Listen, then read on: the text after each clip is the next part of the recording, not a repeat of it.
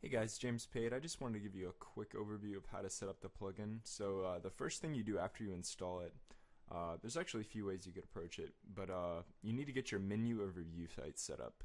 So to do that, you click this little plus button right here, and that's how you add a new menu. And then you add these uh, individual review sites, which are actually different pages on your website. So you just find them in your pages after you make them. And uh, the only one that you can't do as a page as Google Places, and the reason for that is because Google does not allow embedding. So you just uh, use this custom link feature right here. You put a link to the Google Plus uh, or Google Places page and uh, label, and then you add it in there. So that's how you make whatever uh, review sites you want to do. And then you see there's this. Uh, you have to choose a menu for your review sites. So I made this one review sites right here, and then I selected it in these custom menus and then you save it. But in order to do that, you actually have to make different pages on your website for each review site. So I'll just give you an example.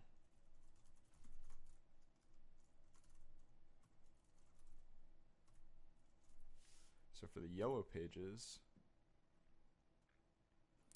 I uh, just made a page review slash yellow pages. So that's an actual page.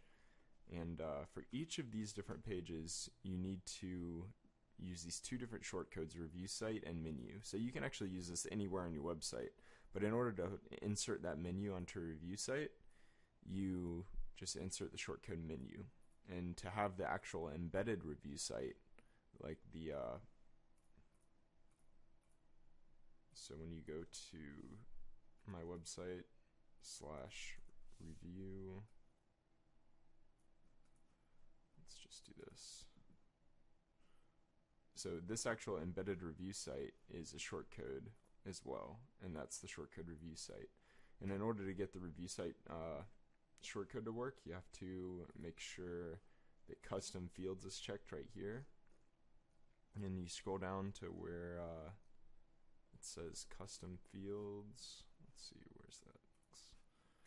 And you make a new custom field with the name URL and then for the value right here, you just put the uh, URL of the review site or whatever uh, web page you want to show up there.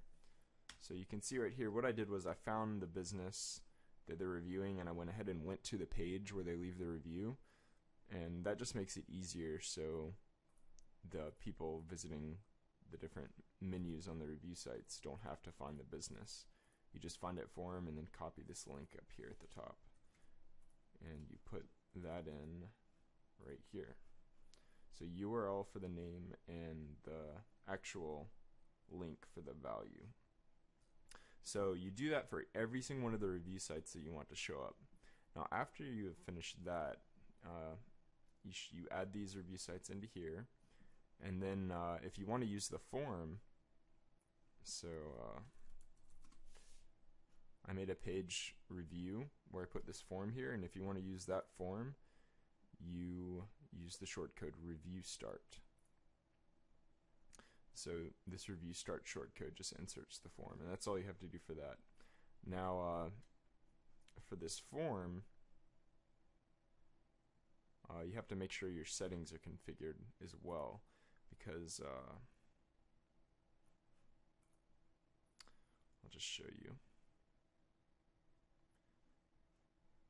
So you have to make sure you have employees listed because each of these employees actually show up in the form. And uh, these are the employees that people can select from. So if you only have one employee, you know, just put one employee. And uh, you can add or delete them right there by clicking delete. And uh, after you've added the employees, make sure you go through your settings page. And if you decide that you want to use uh, the text message part, you have to sign up for a Twilio account and then you use your SID and your auth token and you paste those in there. And the caller ID is a number that you have bought on your Twilio account. So it's just a dollar a month. And then the recipient number is the number that it sends the text message to. So this is going to be like the business owner's uh, phone number that gets the messages. Now prepend custom text that just means it's uh, whatever shows up at the very beginning of the text message, so you can customize that. and these two options, excellent text and poor text, uh, when they submit the form, the excellent text is what shows up if they say they had a good experience, and the poor text is what shows up if they said they had a bad experience. So you can use HTML for this, uh, so you can customize it however you want. Now let me show you how to set up Twilio.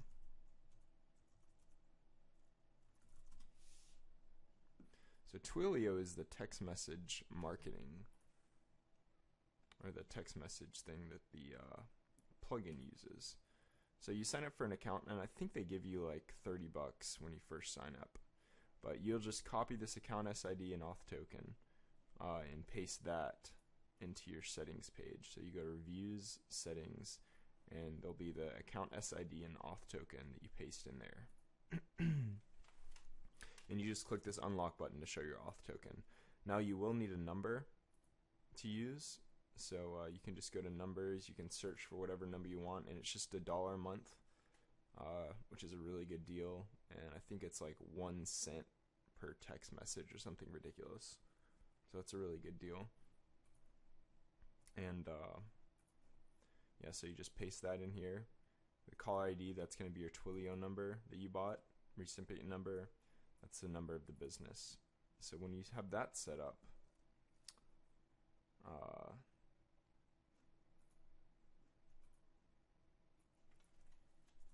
it should just show this form and it should uh, should be able to submit it and then it shows this menu of review sites and uh, the other thing is if you want to show the actual reviews you have to make sure that they are actually published. So as you can see as soon as a review is submitted it's, it shows as scheduled. So uh, you can just, if you don't want it to show, this is the one I just made, you just edit the status right here. And you can either change it to draft, that way it'll never get published, or uh, you just set it to an earlier date if you want to, and you can publish it. And then that one will show up. So, the widget that you use